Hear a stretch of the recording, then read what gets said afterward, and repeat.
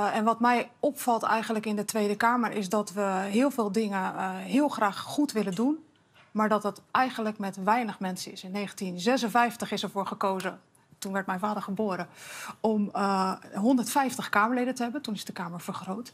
En toen van 100 naar 150 Van 100 naar 150. Ja. En toen hadden we 10 miljoen Nederlanders. Nou, we zijn nu 2023. We hebben ruim 17 miljoen Nederlanders. Uh, de post komt niet alleen maar meer via de PTT en een postbode, maar de Kamerleden worden continu bereikt.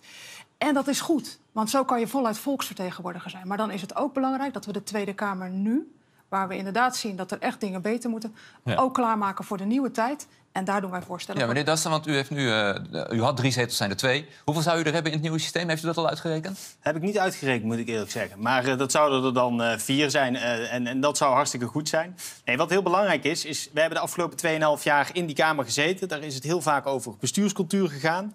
we hebben daar ook vaak met elkaar over gesproken. Ja. want je gaat de Kamer in vanuit een bepaald gevoel van idealen.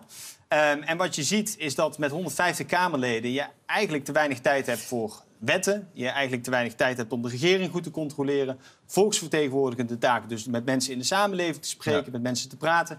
Um, en dus inderdaad ook via social media uh, bereikbaar te zijn. En daarom hebben wij gezegd, Nederland verdient een parlement wat sterk is en daadkrachtig. Ja. En daar hoort dus ook een vergroting bij naar 250 Kamerleden.